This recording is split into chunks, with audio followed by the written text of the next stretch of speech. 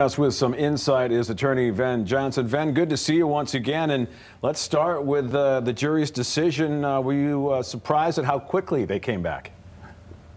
Good morning, Deanna. Mike uh, answered no, I wasn't. Uh, over the course of two days, nearly 11 hours, it's not exactly a quick verdict. But uh, as we talked about yesterday, I think the evidence, the prosecutorial evidence was overwhelming.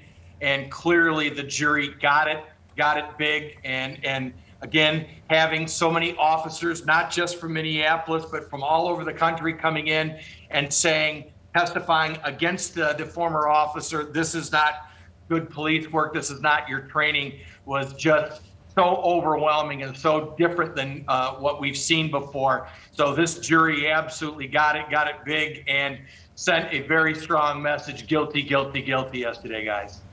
Yeah, and I mean, what was your reaction when you heard that, you know, uh, for all three counts? I mean, there was conversations that, you know, maybe one wouldn't hold or this one wouldn't hold, but guilty on all three. You know, what was your reaction for that? Well, very candidly, uh, this is justice.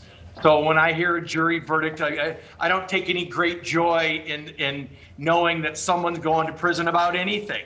But I, I will say I, I felt relief I felt like justice was served. And again, a first big step, but a step.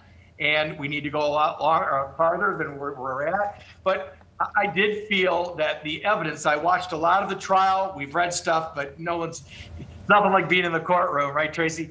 But uh, the, fact of the matter is, uh, th- this jury sent a huge message, and now Judge Cahill has got a big job, the next step of justice. You all saw yesterday, they put him in cuffs and took him to prison. And Tracy will tell you that's called remanding. He was out on bond. And if it was anybody else but a police officer, they would have cuffed him and taken him right off to jail, just like they did yesterday. So they treated him like they would anybody else. I give Judge Cahill credit for that. And I, I personally believe that Judge Cahill is going to find some aggravating factors and end up giving a highly significant sentence here, guys. And Ven, uh, last question for you. Does this send a message too for you know cases you know unfortunately that may happen down the road, very similar to this?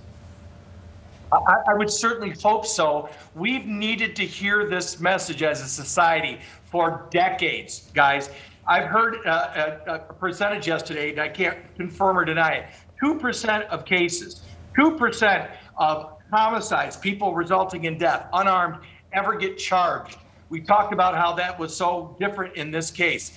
And what we got to send a message to our police that no one's above the law. And if you break the law, like clearly was broken here, you're going to be held accountable criminally and then more what I do civilly as well.